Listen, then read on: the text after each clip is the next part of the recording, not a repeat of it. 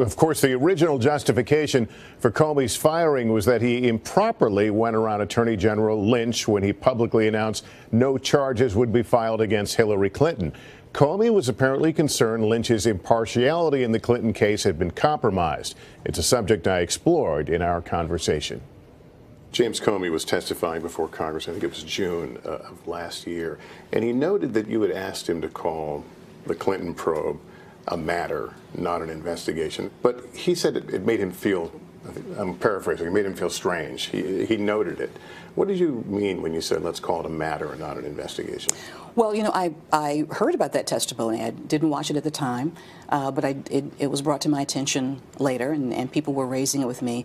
And my first response was, what, you know, what, where what is the issue here? You know, I remember specifically talking with him as we talked about sensitive things on a number of occasions. You know, we often would have to discuss sensitive matters, sensitive issues, terrorism and the like. Um, you know, law enforcement policy and the like. Uh, and this was a very sensitive investigation, as, as everyone knew. Um, and the issue when he and I sat down at that time, which I, I think was early in the fall of 2015, um, was whether or not we were ready as a department to confirm an investigation going on. When we typically do not confirm or deny investigations into anything, uh, with rare exceptions. But, but, but so Comey says you want to call it the Clinton matter. He wants to call it the Clinton investigation. To the extent, though, that he noted it, that it bothered him, did he go to you and question your, your credibility with regard to the Clinton case? Well, look, I can tell you that you know it was a meeting like any other that we that we had had, where we talked about the issues. And we had a full and open discussion about it. Um, he didn't raise any concerns um, about it. Um, and and concerns were not raised.